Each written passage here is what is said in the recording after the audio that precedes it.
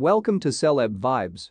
Elon Musk says he spoke to Kanye West about the rapper's anti-Semitic tweet that allegedly led to his Twitter account being suspended.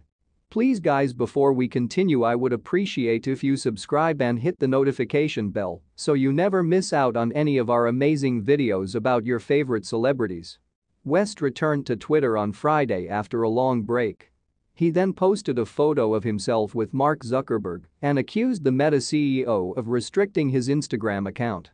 Instagram previously confirmed to Insider that West's account has been suspended for posts that violate their policies. Musk responded to the photo by posting a comment welcoming his friend back to the platform. In response to her previous tweet, Musk posted that he spoke to you and voiced his concerns about your last tweet. Musk added that he thinks the musician took his concerns very seriously. Musk is in talks to buy the social media platform after months of legal wrangling. The billionaire has objected to freedom of expression on the platform, saying he would allow the former US president to return to Twitter and stay exclusively on his own social media app, Truth Social. Musk officials did not immediately respond to insiders' request for comment outside of normal business hours. West was not immediately available for comment.